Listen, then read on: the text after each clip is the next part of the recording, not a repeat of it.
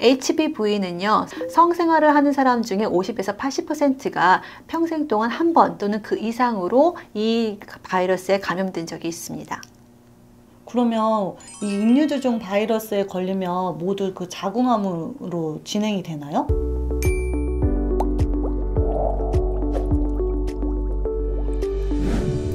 유리님들 안녕하세요. 안녕하세요. MC 스텔라입니다. 안녕하세요. 영양학 박사 클라라입니다. 음, 요즘에 이게 나이를 점점 먹어서 그런지 모르겠지만 음. 주변에 자궁경부암 수술을 하시는 아. 분들이 점점 늘어나더라고요. 네. 음. 근데 우리가 자궁경부암 하면 음. 어 암에 그 영양제가 도움이 될까 이렇게 생각이 들잖아요. 네. 그렇다면 이 자궁경부암에 도움이 되는 영양제가 있을까요?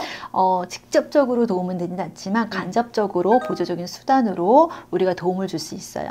예를 들어서 우리가 종합 비타민이라던가 아연 또는 오메가3, 그 다음에 유산균, 어, 그다음 코큐텐 같은 것들이 도움이 될 수 있습니다. 어 그러면 우리가 이제 뭐 종합 비타민이라든지 비타민 D 같은 경우는 음. 우리가 평상시에 챙겨 먹는 영양제들이잖아요. 네, 예. 근데 자궁 경부암에 어떤 도움이 되나요? 어, 종합 비타민에는요, 비타민 C, 비타민 E, 비타민 D 이런 여러 가지가 들어 있잖아요. 네. 특히 비타민 C하고 비타민 E는 항산화 작용이 강해서 암 세포를 줄여주는 작용을 해요. 비타민 D는요, 여성 호르몬을 조절해서요, 자궁 경부암 발생을 줄여주는 역할을 합니다. 그리고 자궁 경부암이 재발하는 것도 예방을 해주고요.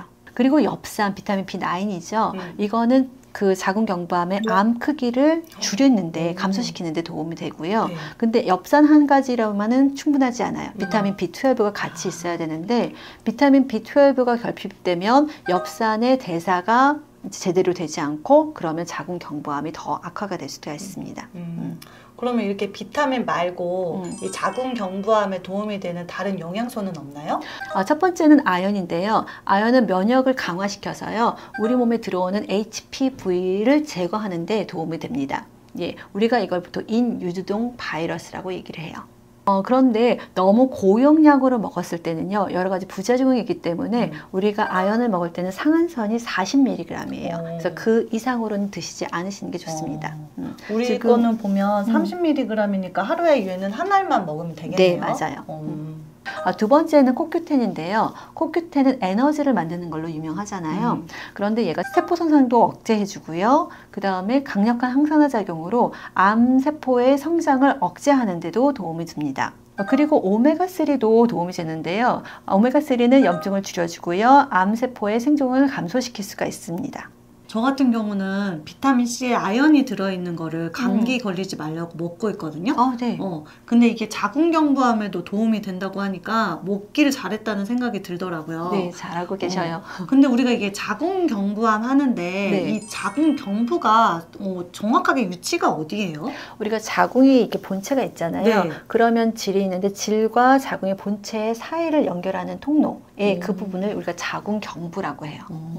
그렇다면 자궁경부암은 어떤 암인가요? 어, 자궁경감은 질과 그다음에 자궁과 연결되는 그 부분에 네. 암이 생기는 거예요. 그런데 이걸 쉽게 보시면 안 되는 게 네. 국가암 등록 사업 연례 보고서에 따르면요, 2019년에 우리 전 연령층의 여성의 암 발생률이요, 어, 특히 이 자궁경부암이 10위 정도가 된다고 음. 해요. 그런데 특히 이제 15세부터 34세 여성인 경우에는 이 암 발생률이 3위 정도가 된다고. 3위요? 예, 음. 3위 정도가 된다고 합니다. 그리고 세계적으로도요, 우리가 여성 암 사망률을 봤을 때 자궁 경부암이 2위 정도가 돼요. 와. 네. 그리고 국내에서도 음. 2019년에 어, 자궁 경부암으로 사망하는 사람들이 853명 정도가 된다고 해요. 오, 죽기도 하는군요. 네, 그래서 하루에 한 2.3명이 자궁 경부암으로 사망하고 있다고 보시면 돼요. 음, 생각했던 것보다 되게 많이 죽는 것 같은데 네, 예, 맞아요. 이게 자궁 경부암 하면 사실 예전에는 나이가 들면 걸리는 암이라고 생각을 했는데 네. 이게 나이가 어린 아이들도 걸리나 봐요. 네, 맞아요. 아, 자궁 경부암은요, 유방암 유방암 다음으로 여성한테 가장 많이 걸리는 암이에요. 음, 그렇다면 이 자궁경부암은 왜 걸리나요? 자궁경부암은요, 인유두종 바이러스로 인해서 감염돼서 많이 생깁니다. 실제 환자의 99.7%가 이 바이러스에 감염된 걸 확인할 수 있었어요. 음, 현재까지 이 바이러스의 종류는 150가지가 되는 것으로 음. 밝혀져 있고요. 그 중에서 16형과 18형이 음. 어, 자궁경부암의 70%를 차지할 정도로 음. 어, 굉장히 강력한 고위험 바이러스예요. 아, 그러니까 이게 16형, 18형이라는 게뭐 음. 16가지, 18가지가 아, 그냥 종류예요. 16형, 음. 18형에 걸리면 위험하다는 거죠? 그렇죠. 네. HPV는요, 성생활을 하는 사람 중에 50에서 80%가 평생 동안 한 번 또는 그 이상으로 이 바이러스에 감염된 적이 있습니다. 그러면 이 인유두종 바이러스에 걸리면 모두 그 자궁암으로 진행이 되나요? 아니요, 이 바이러스에 감염됐다고 모두 다 자궁 경부암으로 발전되는 건 아니에요. HPV는요, 어, 보통 1년에서 2년 사이에 90%가 자연적으로 소멸할 수 있어요. 하지만 일부 이 HPV 유형은요, 음. 오랫동안 감염이 지속되고요. 음. 그래서 자궁경부암, 외음부암, 질암, 항문암까지도 이어질 수가 있습니다. 음. 그리고 자궁경부암의 위험 요인은요, 우리가 흡연이라던가 음. 영양 결핍, 음. 그리고 성병, 음. 그리고 우리가 면역력이 떨어졌을 때 많이 생길 수 있기 때문에 면역력을 증진시키는 것이 굉장히 중요하십니다. 그리고 호르몬 피임약을 장기 사용했을 때도 음. 우리가 자궁경부암이 훨씬 더 잘 걸릴 수가 있습니다. 음, 그럼 우리가 이제 자궁경부암에 걸리면 어떤 증상들이 나타나나요? 어, 우리가 보통 초기에는요 네. 비정상적인 질출혈인데요. 특히 성관계를 할 때 질출혈이 있을 수 있습니다. 음. 그런데 이게 암으로 점점 점점 진행되잖아요. 네. 그러면 우리가 분비물에서 네. 이제 악취가 나거나 음. 피가 섞여 나거나 우리가 배뇨 곤란이라던가 음. 이제 골반통 같은 것들도 나타날 수가 있어요.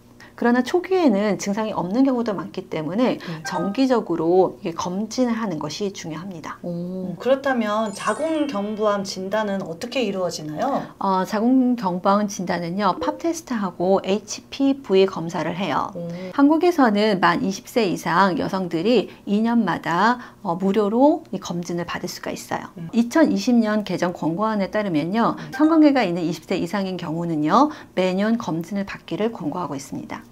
어, 해외에서는요, 자, 팝 테스트보다는 HPV 검사가 훨씬 더 정확하다고 해서 이를 대체하려는 변화가 있습니다. 요즘 한국에서는 이게 어릴 때부터 자궁경부암 백신을 맞게 해주잖아요. 네. 그럼 이게 백신을 맞으면 정말로 효과가 있나요? 네, 자궁경부암의 이 HPV 백신이요, 예방 효과가 뛰어나요. 우리가 성 경험이 없는 여성이 이거를 맞았을 때는요, 90%의 예방 효과를 가지고 수 있어요. 어, 100%는 아닌가 보네요. 어, 이거는 치료제가 아니기 때문에 100%는 할 수가 없죠. 어, 네. 이 백신은요, 9살부터 26세 여성한테 권장이 되고요. 한국 에서는 무료로 이 백신을 받을 수가 있습니다. 음, 그럼 인유두종 바이러스에 이미 걸린 사람은 백신을 안 맞아도 되겠네요? 이미 인유두종 바이러스에 감염된 사람도 이 백신을 맞는 게 좋습니다. 왜냐하면 이 바이러스가 종류가 150개 이상이 되, 잖아요 네. 음. 그래서 내가 감염된 게 A라고 한다면 B가 들어왔을 아. 때또 감염이 될 수가 있어요. 그래서 맞는 것이 좋습니다. 그럼 한 번 걸린 사람은 항체가 생겨서 또 안 맞아도 될 것 같은데 아닌가 봐요?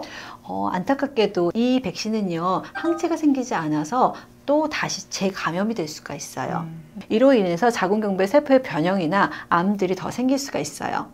어, 근데 박사님, 어떤 분들은 이 음. 백신을 맞으면 음. 자궁 경부암 암 검사를 안 해도 된다고 하시는 분들이 많아서 음. 이 검사를 안 하는 분들이 많더라고요. 네, 어, 이게 HPV 백신을 맞는다고 암 예방이 완전히 되는 건 아니잖아요. 음. 그렇기 때문에 정기적인 자궁 경부암 검사가 필요하고요. 음. 이게 자궁 경부암뿐만 아니라 자궁과 관련되는 많은 여러 가지 암들도 음. 그 검진으로 우리가 발견할 수 있기 음. 때문에 검진은 꼭 하시는 게 좋습니다. 음. 음. 어, 오늘 박사님과 함께 이 자궁 경부암에 그 도움이 되는 영양제에 대해서 알아봤는데요. 다음 시간에는 우리가 코르티졸과 관련된 영양제에 대해서 알아보려고 합니다. 궁금하신 유리님들은 우리 다음 시간에 만나요. 안녕!